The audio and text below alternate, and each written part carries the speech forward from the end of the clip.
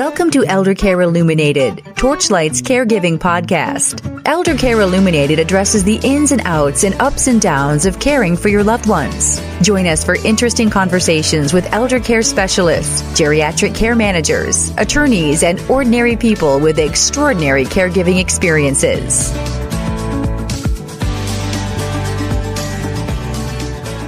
Everyone, and thank you for joining us today for this special edition of our podcast brought to you by Torchlight, which sponsors both our Exceptional Parenting podcast, hosted by me, Stefanie Boucher, and the Elder Illuminated podcast, hosted by my friend and colleague, Lenore Tracey. Hi, Lenore. Hello, Stefanie. Thank well, you for having me. I'm so happy to have you. I really love it when we get to do podcasts together. Glad you're here it's amazing. The concerns of caregiving cross a lot of boundaries when it gets right down to it. Well, the reason that we're here together today instead of going off to do our own podcasts uh, is that we're going to be discussing a topic that impacts very deeply, I might add. Um, and as Lenore noted, every person I've ever met and of course, those I haven't met. Uh, and that topic is sleep. Humans are designed, of course, to spend a third or more of our lives sleeping, yet few of us in our culture do because it's hard to come by for all kinds of reasons. Um, and guess what? Too little sleep is not a good thing, as many of us know. Um, and of course, according to today's guest. So if it's you that isn't sleeping well, a spouse or partner that isn't sleeping well, or someone you are caring for that isn't sleeping well, uh, whether that individual is eight or 80, we want to offer you some insight and provide tips on how to get a better night's sleep. We are here with clinical sleep educator and behavioral therapist Rick Clerici who is the founder of Clear Mind Systems. Uh, Rick conducts sleep and wellness programs and gives talks in corporate settings and universities around the country. And he also conducts individual sleep coaching through Clear Mind Systems. Rick, welcome to the show. We are so thrilled to have you here today. Thanks, Stefanie and Lorna. Nice to see you both. Very nice to see you as well. I've been very eager to have this conversation with you because I can't think of a single person that I know who doesn't complain about the sleep they're getting in some way, or rather the sleep that they're not getting. And in fact, sleep has become a much bigger topic, both in the media and in medical and public health communities over the past few years than it seemed to be in the past. Yet sleep has always been important. Why do you think that we are talking about it much much more frequently now? Maybe it's becoming much more evident. You know, I think we valued sleep in the past. I think our ancestors valued sleep as much as they didn't have a lot of science around. We, uh, you know, we know more about sleep than we've ever known. The science is great. Sleep medicine is a very accurate science. Uh, it's done a lot of work over the past 50 years, and yet we've never slept as badly as we have, as far as we know, looking back into the past. And so perhaps it's just gotten so bad that finally we have to talk about this. Yeah, and that kind of brings me to what I was going to ask you next. Uh, we know there are a number of large national studies that have surveyed Americans about our sleep practices. What do they tell us about Americans and sleep? There are some amazing figures, actually. About 70% of Americans report that they struggle with their sleep nearly every night. 30% of American workers say that they sleep six hours or less. Only 18% of teenagers are getting the optimum amount of sleep, and children between 3 and 11 are getting somewhere between two to two and a half hours less sleep per night than recommended.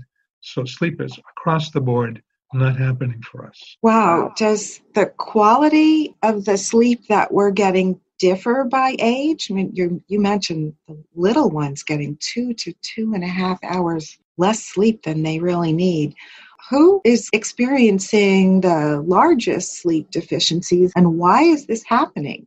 Well, it's mostly kids and teenagers who are having, actually having the most problems. Adults are having problems also, but not quite as bad. Maybe it's because we were brought up in eras in which sleep was valued more and regulated more. Uh, we also maybe grew up in eras, as we found out today, as we played with our devices and our technology, that we weren't as intruded upon by in technology as uh, young people are today. So amazingly enough, even though sleep is generally easier for young kids and teenagers, actually they are the ones suffering the most. And this is during developmental periods of time when sleep is even, in a way, more important. I'd like to talk a little bit about how our sleep culture has changed and what types of things are keeping us awake at night. And you're mentioning kids here, and I can tell you just through observation because I have two adolescent children and and watching them sort of grow up in this era there are so many more distractions electronically to keep them awake, right? I mean, I don't like to let my kids be on their phones super late at night, but I hear from them that they have classmates that are up until one, two, three, even sometimes four o'clock in the morning, texting each other um, on social media, that type of thing. And I'm not really sure at what age that's starting, but clearly that's playing a role. Also, there are simply more ways to entertain yourself late at night than there used used to be. I, you know, I know yeah. when I was growing up, there was really nothing worth watching on television, for example, past 11 o'clock for most young people. But now, of course, you have on demand entertainment at any time of day or night that you could want. And it's very, very entertaining. So, what are your thoughts on the things that are keeping our, our kids and our teens awake and maybe how we can mitigate that? You bet. Well, part of it is, you know, smartphones are really, they've entered into our lives, uh, become central to almost everything from bill paying to social media to learning now. Uh, 68% of kids bring their phones into the bedroom at night, and a third of them keep them in their bed throughout the night. It is really disturbing. There was a study done at Harvard Medical School on the, the effects of smartphones on kids. It was actually done with adolescents. One group who spent the night in uh, sleep labs, so individual sleep labs, where we measure absolutely everything about the body from O2 levels to uh, brain waves, uh, exactly what stage of sleep, everything. It's just amazing. Uh, and then another group who slept in another wing in their sleep labs. One group had a smartphone on their nightstand, though they did not make or take a call. They slept 50% more fragmented sleep than the group who did not have a phone at all in the room. Just the presence of the phone, not even using it, made them stay up in stage one transitional sleep. That's a stage of sleep that should comprise about 5% of the night. And they were spending sometimes as much as half of the night in this stage of sleep that's almost valueless, other than it transitions us from wake to sleep, but it doesn't do a lot for health and regulation of various functions. So just the presence of the phone because it's a window on the rest of the world and actually doesn't mm-hmm. remind us about anything concerning sleep was enough to keep them in very valueless sleep. Why is that? Is it because of the unconscious knowledge that the phone is there and you might yes. be missing something, or it's not because of, say, the the EMFs or the no. you know, electromagnetic waves that are coming off of the phone? The research has called it threat expectancy, and we use that term in psychology, but I, I often think it's really more connectivity expectancy that that expectancy that you will be connected with. Right. So probably better than to have a real alarm clock than to rely on your phone by your bed. Absolutely. A battery powered alarm clock that you have to actually push a button to even see what time it is. Those are what i always recommend to my clients. You know they cost about $10 and nice and cheap. They really work. And it helps a person get the phone out of the bedroom. I tell people just get your phone out of the bedroom. So many people who i'm coaching well, they resist it, of course, because they can't imagine not having the phone. But when they do it, they'll often say the next week that I talk to them, I hate to admit it, but I had much better sleep just for that one change.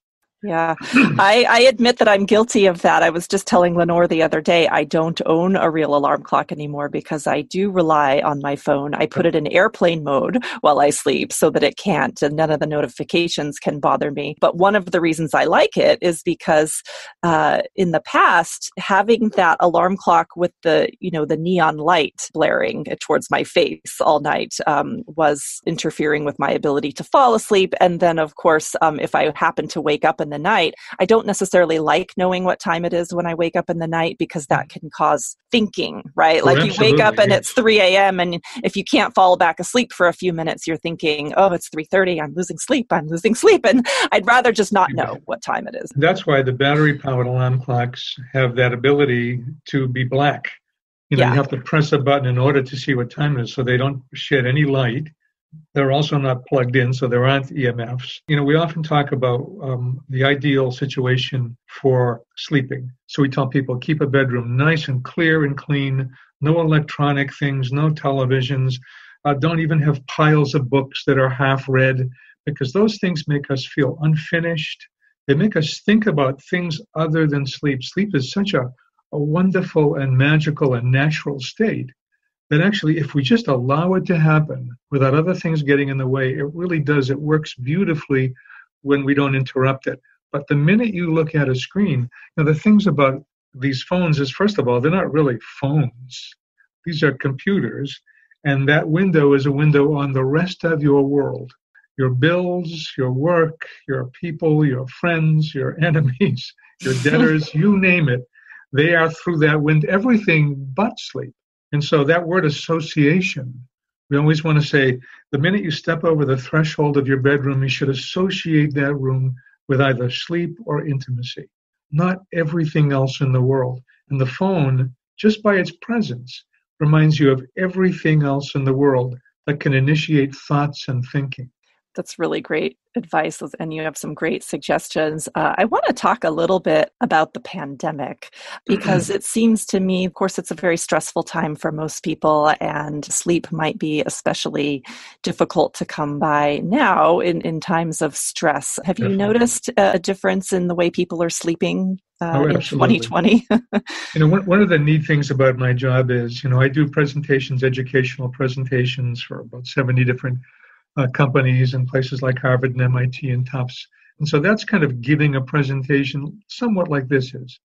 But when I do sleep coaching on the phone, I do that every single day with numerous people for a half an hour at a time. And so it's like I have my finger in the wind. I know exactly what's going on in relationship to the things in our world, and I see them in real time, how they affect people. So, a few things that are affecting people given the pandemic, is enormous amounts of stress. And, and one of the worst stressors is uncertainty. And this has caused uncertainty in every area of our life, from going shopping to driving down the street and seeing people with masks that might upset you, or not having masks that might upset you also. You, you grab an, a doorknob and you wonder if you should be. This has made us uncertain about the most basic things in life and even our loved ones and friends. And so uncertainty is a huge stressor, and it's been going on for about 10 months. We're not dealing with it terribly well because it's a new kind of challenge in a way. And so what I notice in people is that their stress levels are rising, rising, rising, rising, and everything else in their life takes place on top of this enormous baseline level of stress and people are not learning how to release it because I think we've almost become accustomed to it. The other problem is that it's changed the way we schedule right. things. And so we often say to people, you know, sleep is a it's a kind of a scientific chemical process, natural. I often say in my household I'm a cook. My wife is the baker. Cooks can do anything they want. In midstream, I can decide on black beans rather than kidney beans, or you know, I can create a sauce or let it be dry. But baking is very specific. If it says let it rise for two hours, that means two hours, not an hour and 40 minutes. If it says cook it in a 300 degree oven for one hour and five minutes, you need to be exact or else it's ruined. Sleep is kind of like baking, it's really exact. So, one of the things we say about sleep timing is sleep really loves same time in bed at night, same time in, out of bed in the morning. It really loves and thrives on that it will endure a little bit of swaying and you know changing that schedule but not a lot. And some people's sleep doesn't really allow for any. So what i'm noticing with people is let's say for an example a person would tell me you know 10 months ago when i went to work every day i would get up at 6 in the morning because i had to dress and change and shower have some breakfast do things for the kids. Then i had a 45 minute commute and all that would get me to work in time and then at night, I would go to bed around 10, which, by the way, is perfect 6 and 10. That's 16 hours. That's how long it takes to build the drive to sleep so that it's compelling. And so they would say, That's how I, I did it before. And my sleep was okay, like everybody else, which really means terrible. But and so they say, but now, so I'd say, well, when do you get up now? Well, actually, I don't really have to get up until 7:30. I always found six kind of early for my own internal clock. So now I get up at 7:30. I still have plenty of time to do things. And at night, I mean, I don't. I used to, go to bed at 10, so I still go to bed at 10. But I have a terrible time getting to sleep. And, I, and I've kind of already given you the answer. It takes 16 hours to build the drive to sleep. Now you get up at 7:30. You need to go to bed at 11:30. Even though 10 kind of fit with your husband or your wife and your kids, and it's kind of the way you liked to go to bed. That was a good time for you. But now it's an hour and a half too early. And so you go to bed, you're maybe tired, but not really sleepy. You get restless, you, you fall asleep for seconds at a time. Then you begin to get concerned about it. And then you call me, your sleep coach, and you say, My God, I can't go to sleep at night. And so sometimes it's as simple as that. So I help a person decide, so maybe you should continue getting up at six. Maybe you're going to go back to work pretty soon. And so you want to be back on the old schedule because it really did work for you. Or if you're going to continue getting up at 7.30, you really need to wait till 11 until your sleep drive is compellingly sleepy. And it's funny, the minute we change that for an awful lot of people, it's a huge difference and immediate too, that night. That certainly is the case for me. Going to bed early has never worked well. It's the case for me that when I go to bed early, I end up being awake even longer than yes, if I had just gone to bed at my normal time. Um, so I get less sleep. So that's a great point. Why is it so important that we address our sleep deficiencies? Uh, what are some of the more significant effects of chronic sleep deprivation? Well, you know, sleep really is the platform for all of our physiological, emotional, and cognitive health. So that's how big it is. It's the platform, like the, the foundation for everything. And if that foundation is off, all of those different areas of life are off. One of the reasons that sleep has escaped sort of our notice in a way and escaped the proper attention from medicine is that it includes pulmonology, cardiology, psychiatry, every area of our health, and these are all, of course, individual specialties, they're all profoundly foundationally supported by sleep or diminished by sleep. And that's one of the reasons that sleep medicine had to become its own discipline. And it's really a relatively new discipline. It's because it affects everything from blood sugar levels to heart rate to breathing.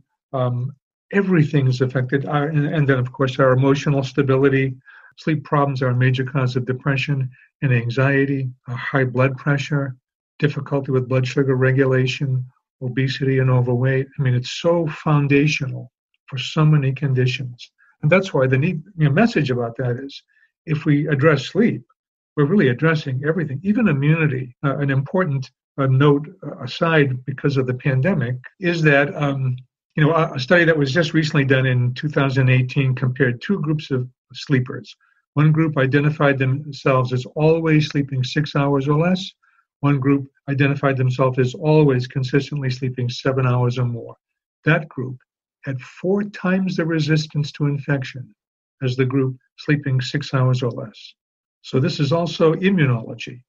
Our strength and activity and the vigorous nature of our uh, immune system is based on and supported by proper sleep. So, it's huge. That is pretty amazing to think how powerful sleep or lack of sleep is. And as you were listing all of the body systems and the areas that are affected by lack of sleep, I wanted to bring up because it comes to my mind uh, and the, the people that I often speak to in the Elder Care Illuminated podcast uh, the research that has suggested that poor sleep is correlated with a higher risk of developing Alzheimer's disease. And yes. so many people are caring for someone with a dementia right now. And so there's another thing to worry about. Any uh, mm. adult son or daughter who has taken care of or is taking care of someone who has Alzheimer's is, of course, up at night worrying about their caregiver duties and then worrying about whether they in turn will be developing Alzheimer's when they get older. What is the current thinking about those two areas and uh, what can uh, allay some of our fears or what can we do with that information? Well, there was a, you know, about five or six years ago, there was a, a system discovered called the glymphatic system. So it sounds like lymphatic, but it's glymphatic. and, and like the system, uh, the lymphatic system that cleans out waste in the body, uh, like muscle waste, the glymphatic system cleans off the toxic plaque in the brain. And we know that it goes all day, except that in sleep, it actually is 20 times more vigorous in the way it cleanses the brain. So, to any extent that we get less sleep than we need, we're not cleansing the brain the way it needs to be cleansed. So, you know, the good message is that mending your sleep getting enough sleep, making it an absolute priority, that helps. Um, just to add on to that, how about the people who have turned to medications for helping with sleep? Are they truly helpful? Um, do they help that lymphatic system do its job, or is that just a band aid that masks the problem? It's kind of a band aid. It's a searching for a, a, too easy answer. You know, we look to pills for too much. And if it weren't so easily affected in a positive way, when you know how to do that, then I would say yes. But very seldom do people need medications in regards sleep. It's it's it's a shame that people do it, and it and some of the medications are not providing the proper amount of sleep or the proper staging of sleep. For instance, uh, the glymphatic system is vigorous in stage three restorative sleep, and we should get about 20% of our night in stage three restorative sleep. But a lot of people don't get that much for different reasons. Stress is one of them. We know that it diminishes the amount of that stage of sleep. Uh, and some of these medications may too. How, I'd be curious to know, how does the uh, amount of sleep that one needs, how does that differ by age? Well, we know that, you know, infants need 16 hours of sleep uh, up till about six uh, years old. In that three to six area, we're talking about 11 to 12 hours of sleep. Uh, teenagers need 10 hours, 9 to 10 hours of sleep. Only 18% are getting that. you know, when we talk about optimum sleep, we're really talking about how much sleep it takes to develop and behave normally. And so when we don't get enough sleep, we are not developing normally and we're not behaving normally. Uh, and so sleep for kids is a, an enormous issue and they're not getting nearly enough. Somehow, we as adults have lost what a lot of our parents and grandparents had, which was kind of a strict sense of the absolute importance of sleep. You need to go to bed. You need to get your eight hours. We now know for adults, it's seven to nine. It really depends on the person. It's a pretty personal number. It's one of the things I have people do over the first couple of weeks is try to sense how much really makes you feel good and when does it start to make you feel depleted. And a lot of times people will say, you know, I think I've arrived at seven and a half works for me. Eight doesn't make it any better, but seven, I can feel it. It's not enough. Uh, a lot of people are in that seven, seven and a half, eight hours. 1% of the population are what we call genetic short sleepers and can get by on six hours or less. Only 1%. Everybody thinks that maybe they are the 1%, but probably they're not. That's the trouble. People want to sleep less, which is just, it's so sad that we've somehow arrived at this thought of, oh, it's such a waste of time. You know, I want to be doing and accomplishing and finishing tasks. We're, we're oriented so on tasks and goals that we've lost our sense of the journey. And sleep is so rich with uh, enhancing and developing our, I call it our ontology, our sense of place in the universe. When in sleep, we plug into the universe, we plug into the collective unconscious, we plug into our own unconscious. And it's a really rich and important place to get as much as you can of, really. Yeah, you know, I'm always very interested in the differences that people have in sleep patterns. It's very common, actually, for people to have a really easy time falling asleep, but then they wake up around two or three in the morning and can't go back to sleep. And I've even heard theories that some people are maybe genetically built to sleep in like shorter shifts. Like, for example, um, two four hour chunks with like an awake period in between it's called bimodal sleep. And most of okay. us are monomodal. Cats are polymodal. Parrots are also polymodal. No, kidding. Mm-hmm.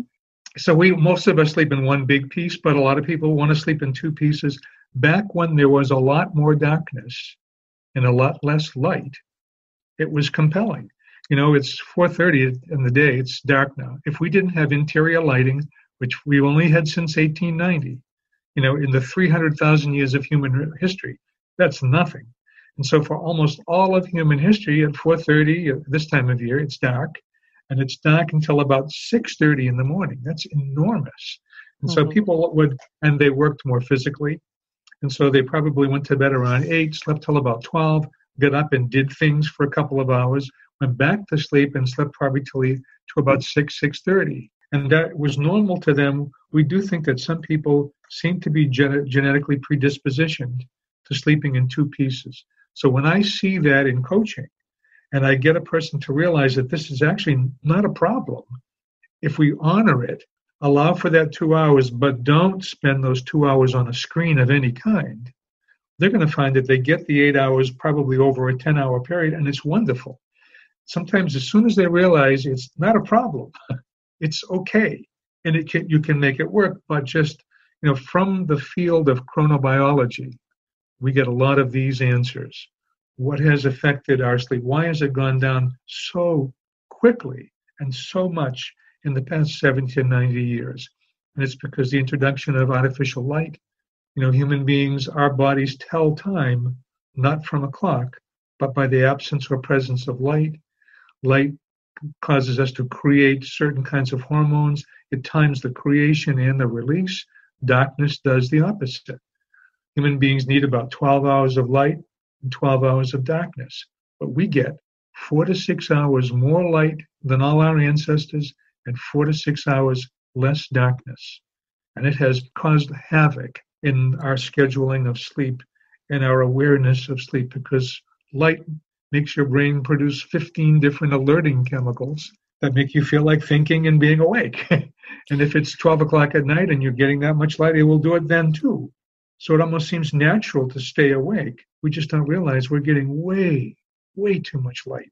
Does it help to keep the house dim Absolutely. at night? Like, like just have the lights on, but dim them if you can. That's what I tell people. You know, take a look at how much lighting you have. I think uh, up until you, the time we learn this, we think, well, the more light, the better, isn't it? But no, it isn't. So I tell people, you know, take a look. Obviously, have enough light so you're not tripping over things, but get all of your lights down and then in the 60 to 90 minutes before you go to bed, that's the exact time that your pineal gland will make enough melatonin to get you through the night. Melatonin is interesting, it's an interesting hormone because it helps us to cool our core temperature. That's what you do when you fall asleep. So it doesn't really make you fall asleep, it's not a sleep aid, but it cools the core temperature so that you can sleep. And then it tells the brain to stop thinking, which is enormous most people go to bed uh, in that very time. They get the most light that they get all day because they're on a screen of some kind. And that's the most powerful light loaded with blue light, which actually can tell your pineal gland that it's noon and do not make any melatonin.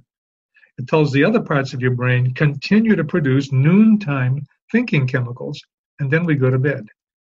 So we go to bed where one sleep drive, it's called the homeostatic sleep drive, takes 16 hours to build. That's kind of an independent drive. So you can be really tired and sleepy, but in your brain, you can have the chemistry of noon. And most people we find is when they go to bed, they have a delayed circadian rhythm of about 90 minutes. So they may fall asleep, but in an hour and a half, they wake up with a brain full of thinking chemicals. And they can't believe when they look at the clock and think, gee, I only slept 90 minutes how is it possible that I feel this awake and this alert and I can't possibly have gotten enough sleep? It's because the chemistry is so far off. It's incredible. You know, I often tell people, you know, that's a time when we often would like to get entertained. So people watch TV or they get on their computer or they game or they get on their phone. And I just say, in that period, turn on an audible book and turn the lights off. Or turn on a, a podcast like this and learn something but in the meantime, with the lights off, your brain is creating exactly the chemistry to coincide with your sleep drive so that you go to sleep with a brain with no thinking chemicals in it and just enough melatonin to continue that no thinking chemistry throughout the night. Rick, you mentioned circadian rhythms. Could you tell us a little bit more about that? Sure. So, the circadian clock exists in all living things on this planet. Everything on this planet, from insects and plants to animals and humans, has an enormous system inside that's about the production of various kinds of chemicals, appetite chemicals, the chemical uh, leptin that actually helps us to control our appetite, 15 different thinking chemicals, blood pressure chemicals, lots of different things. And that, that production and release is timed by light and dark. Light does certain things, dark does other things, and also inhibits certain things. And so the circadian clock is that part of us that tells time only by light and dark. And obviously, because we can manipulate light and dark, we can get light at the absolute wrong time. We can also get dark at the wrong time.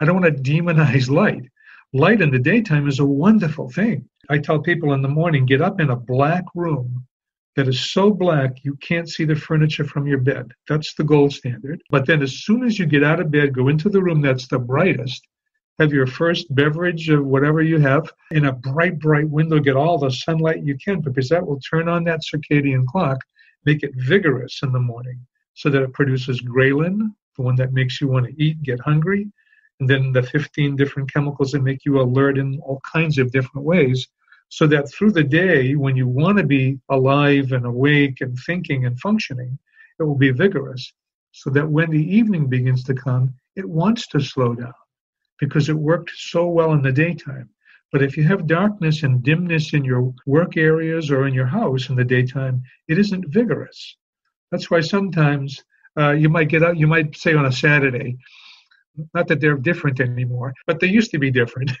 and you didn't have to go to work, but you got up and it was rainy and dark. And then it's all of a sudden it's 10:30 in the morning. You think, my God, I can't wake up. What is going on? It's because there's not enough light. You really need that light in the daytime. At night, we need darkness, and we need lots of it, and we're not getting it. What about napping? Oh, good. There was a, a good study done on napping. Uh, it was a study done just recently, in fact, uh, in which um, we found that one or two 20 to 25 minute naps per week reduce cardiovascular risk by 48%. That's enormous. Isn't that incredible? Now, we sleep different than, say, Europeans uh, and people in Central and South America. It's just more cultural, though it can have to do with the amount of light and the amount of heat. But a lot of Europeans go to bed very late. They eat very late, they go to bed very late, but in the middle of the day, they shut the store and go home for a couple of hours and sometimes take over an hour nap, which here, by the way, would be too long. We recommend 20 minute naps, but it has more to do with the way we function. We tend to get up earlier here, go to bed earlier, and we're more monomodal.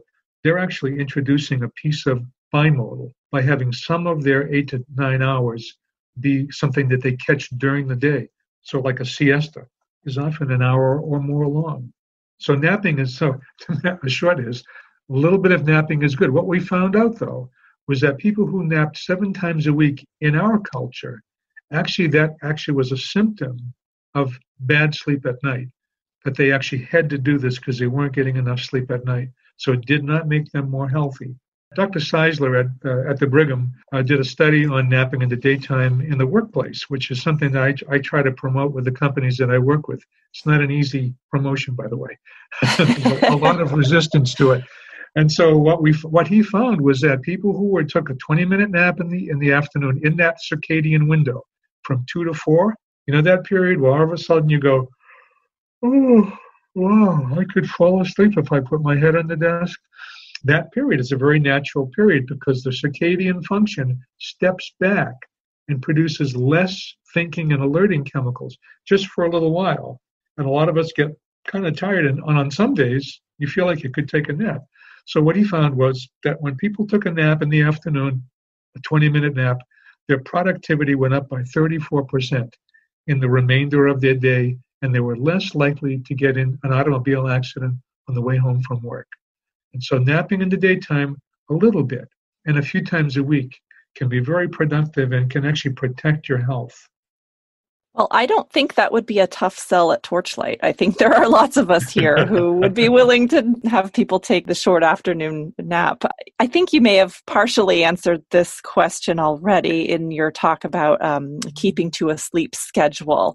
But I, I want to point out for parents out there, and there are probably other people who do this as well, but it's particularly common in teenagers, people who try to make up for lost sleep on the weekends. They sleep too little all week long, and then they really, really sleep in on a Saturday or Sunday, can you make up for lost sleep or is it just lost? You can get you can make up somewhat, but not a lot. And the, the problem with the attempt to make up for the sleep is sometimes we begin to alter our sleep wake schedule and we can create other sleep disorders like Sunday night insomnia.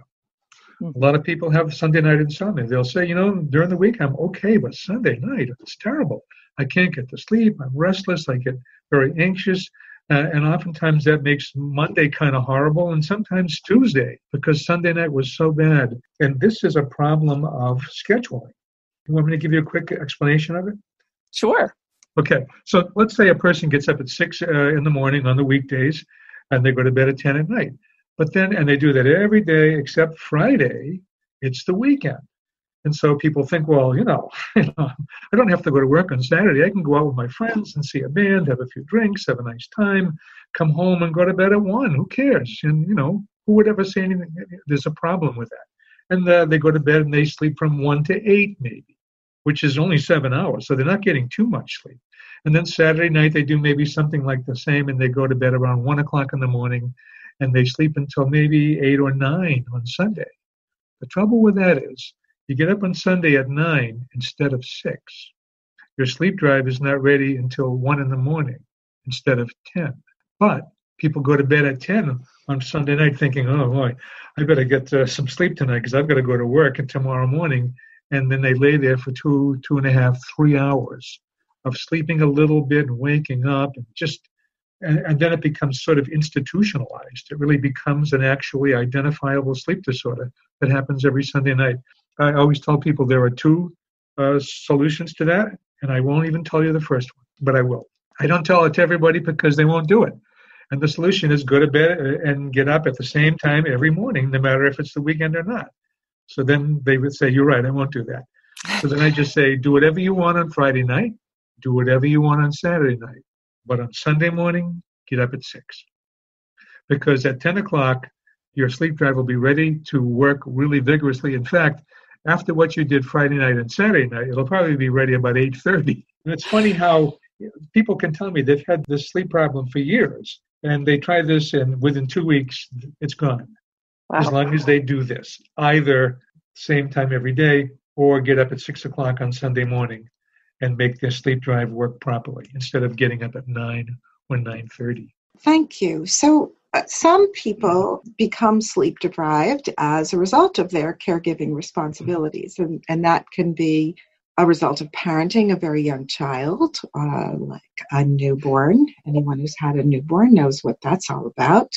Or your teenager, where um, I remember when my kids were old enough to be going out on their own in the evenings, and like I did not really get into that good sleep until I heard the click of the door and knew that mm-hmm. all the chickies were back in the nest.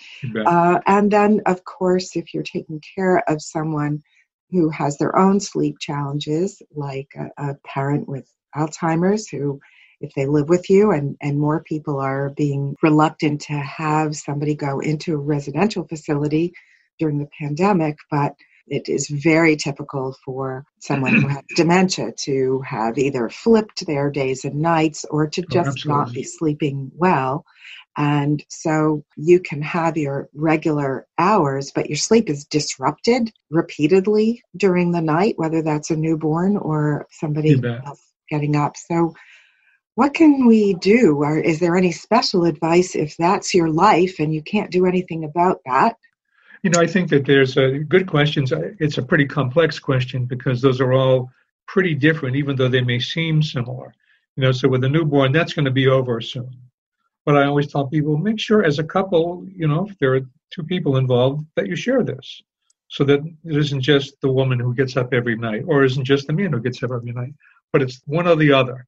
uh, and you share this kind of thing. I think it's also important to just make an overall rule for yourself.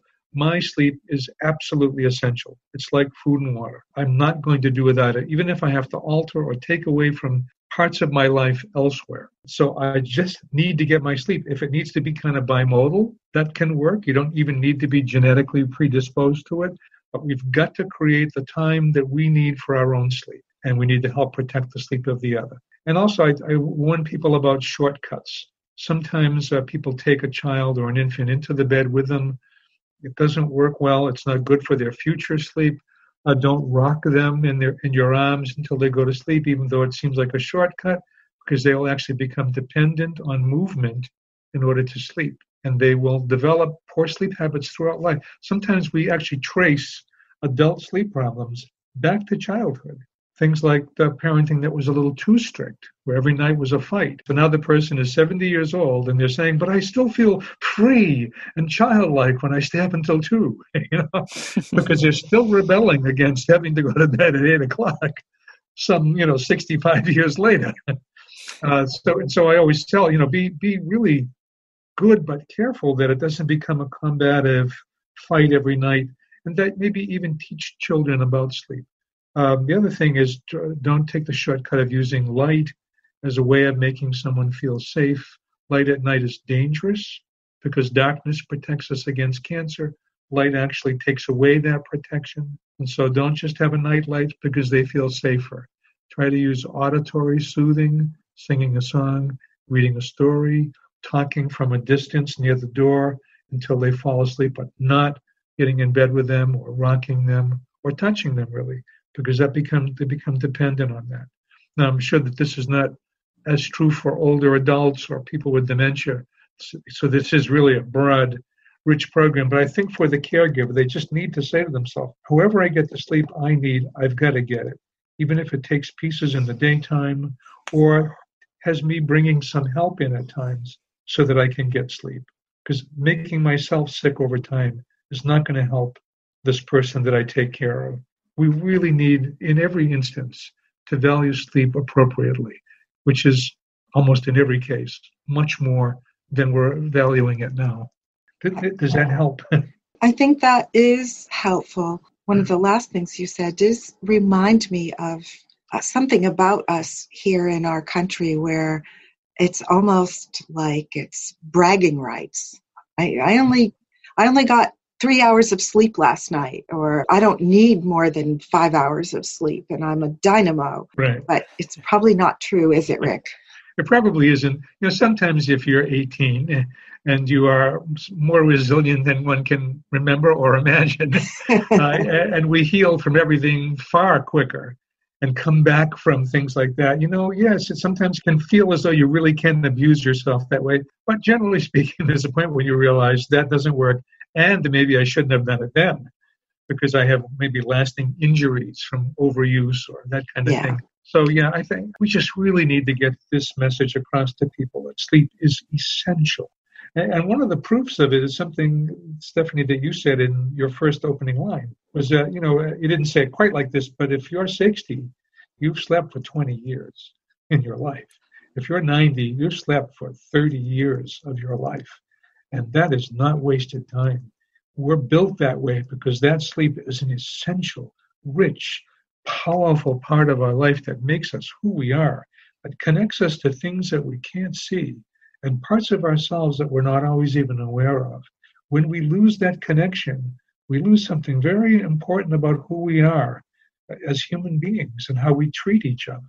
So there are things about the value of sleep that are really invisible and hard to to sense, but they have to do with things like empathy and intuition, powerful parts of being a human being, and an, an immune system that is still much more complex than we will ever understand.